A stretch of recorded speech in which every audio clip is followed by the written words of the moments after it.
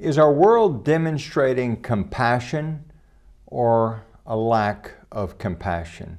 Welcome to this, your daily 180 Bible study, 180 seconds of pure Bible study, three minutes Monday through Friday. Thank you for participating and thank you for sharing this with your friends. We're continuing with our study about Jesus the man. And this week we're going to begin looking at the idea of the compassion of Jesus. Jesus was compassionate.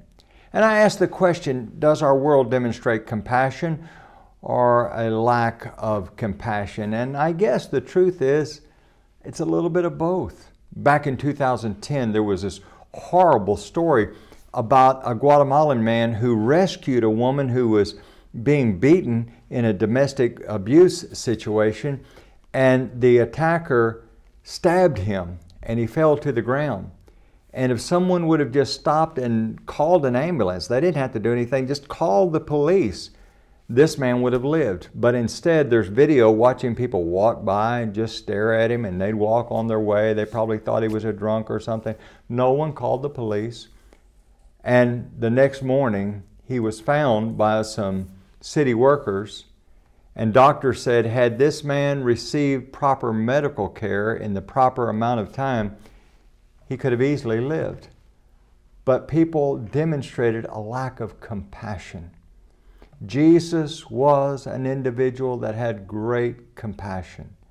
And there are great demonstrations of compassion in the world, but here's the big thing you and I, we need to demonstrate the compassion of Jesus in our lives for other people.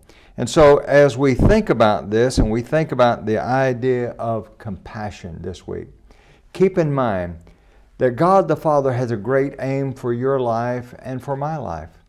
And that is that we, be that we would be conformed to the image of His Son. That's Romans 8 and verse number 29.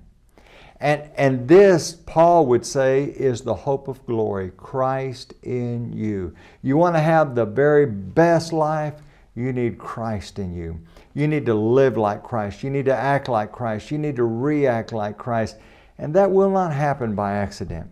It requires effort on our part. We must be committed disciples, or can I use the word followers? Diligent followers. So, this week, let's dig into the scripture and see what it says about the compassion of Jesus. Join us again tomorrow.